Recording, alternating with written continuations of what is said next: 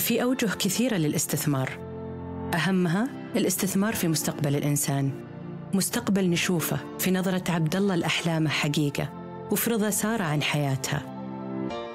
مستقبل مستدام هو فرحة فيصل في كل موسم حصاد. فرصة جون ليطور شغفه في عالم المحركات. مستقبل واعد تساهم فيه منال لاكتشاف وجهات سياحية جذابة. مستقبل متطور يستفيد فيه وانج من التقنية لخدمة الإنسان. مستقبل يتجاوز حدود خيال عليا. في صندوق الاستثمارات العامة استثمارنا يتعدى المشاريع والأعمال. نستثمر في الطموحات الكبيرة. نسخر الإمكانيات لنحقق الإنجازات.